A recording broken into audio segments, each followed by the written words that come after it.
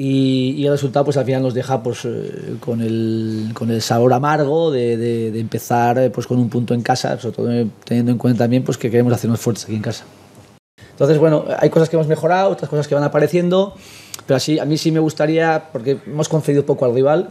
que te seguir esta línea y concediendo poco seamos capaces de al final encontrar más cosas. Yo creo que el partido, si, si analizamos un poco pues, eh, el dominio, el control, las llegadas y las ocasiones, creo que la balanza sería para nosotros, pero para ganar pues hay que hacer más o, esas ocasiones que tienes pues eh, ser capaces de marcarlas, ¿no?